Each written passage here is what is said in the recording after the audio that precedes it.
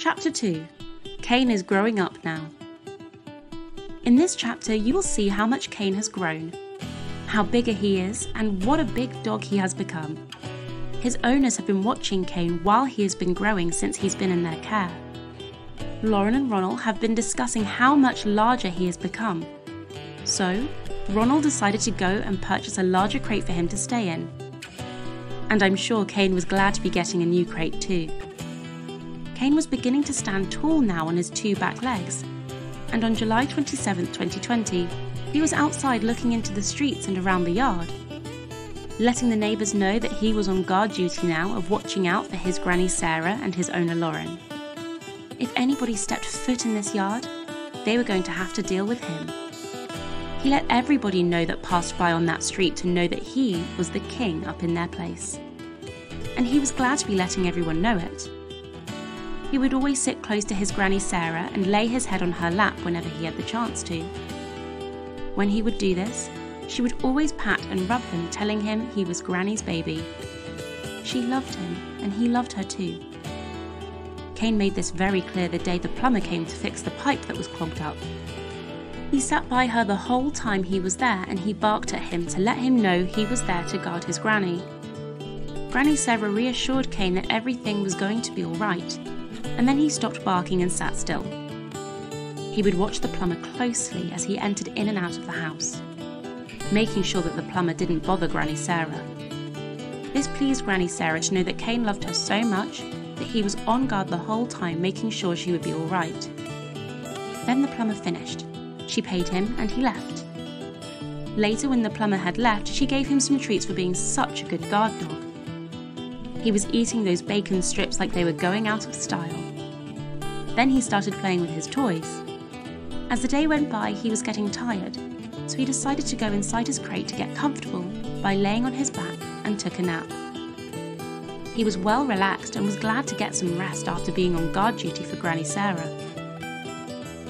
As she was watching him sleeping in his crate, she decided to snap a picture of him. He looked so cute lying there on his back with his legs up in the air. Then she texted the picture to Lauren and told her what happened. Lauren laughed and was happy to know that he was looking out for her mama. Lauren then FaceTimed her mother and said, I have something to show you. Are you watching? She said, Yes, what is it? Lauren then showed her another dog that she had with her. Granny Sarah was frantic about what she had just seen.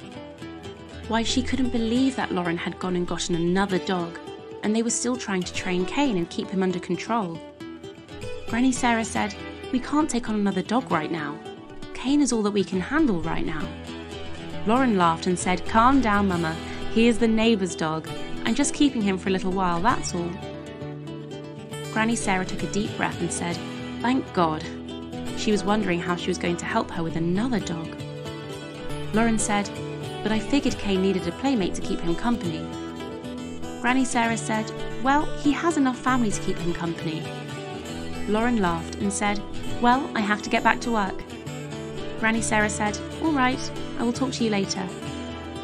Since Kane had become part of the family now, Granny Sarah would take him around some of the other family members. She would make sure they all knew who Kane was. He barked at them on the first, but when she explained to him that they were family and these were your cousin, aunt, and friends, he calmed down and showed them love by trying to go with them and licking on their faces and hands. This is how he would bond with you. Soon it was time for Kane to go over to his friend's house to play.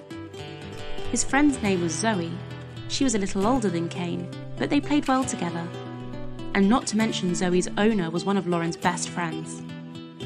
These dogs would run around in this big fenced in backyard and have the best time of their lives.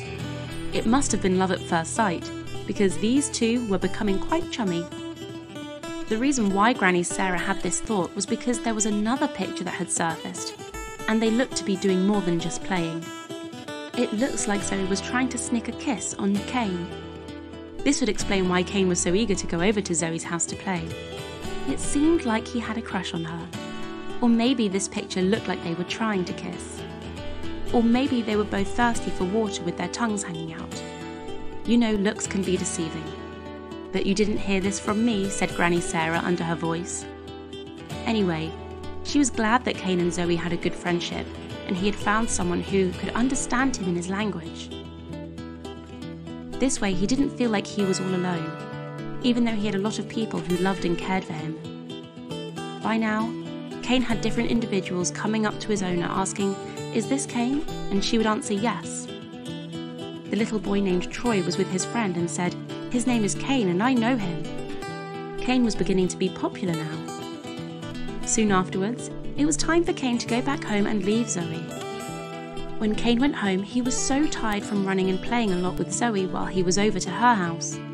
So, when he went to sleep, Granny Sarah decided to take another picture of him whilst he was laying in his bed. He always looked so precious. There wasn't enough words to express how he looked. Granny Sarah knew he was tired from the way he was snoring, and she filmed him snoring as well. She had heard him snore before, but it was nothing like the snoring he was doing on this day. She enjoyed having him lay beside her by her bed while she was watching television. He was a sight for sore eyes to see. Before he went to sleep, she caught him watching television for a few minutes. He was learning to pick up on different things as he was growing up. You could tell he was spoiled, and I'm sure Granny Sarah had a lot to do with him being spoiled. On September 8, 2020, Kane was going for his second grooming visit to have his toenails trimmed. Carrie, Lauren's friend, was coming to get him to take him to have it done. She would ask to take him with her when she would have to take Zoe to have hers done. This would help Lauren out because she was busy trying to hold down two jobs to help pay for some of the things Kane needed in taking care of his personal needs. And Ronnell would take care of the rest of them. Since Kane was getting bigger and learning more about being disciplined, Lauren and Granny Sarah decided to let him attend their parking lot service on one Sunday morning in September 2020. Yes, they would have the service in their cars due to coronavirus. This was to help keep everyone safe while they were having church. Kane was good at first, but then he wouldn't be still. He wanted to get up front with them and lick on them. This was because he felt like he was being left out. Being in the back seat by himself, he was beginning to feel lonely. He was barking and didn't want to play anymore with his toys that they had brought with them for him to play with. This is when they decided he wouldn't be able to attend church with them too many more times. Not unless they could think of a better plan. When they got home with him, he was able to run and jump into Granny Sarah's lap for her to pat and rub on him once again. He was happy now he had their attention. Being the centre of attention made him so happy. How you could always tell. He would wag his tail, jump up and down, and with excitement, and he would take off running through the house as fast as he could. He was running so fast you would have thought he was at a dog race or something. This is why they had to put him back into his crate from time to time, and they taught him not to run in the house by saying no and stop. He soon learned that he was to wait until he went outside to run and play.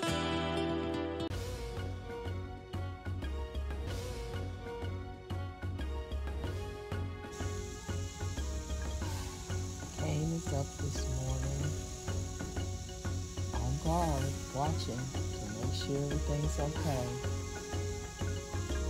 I love my grandbaby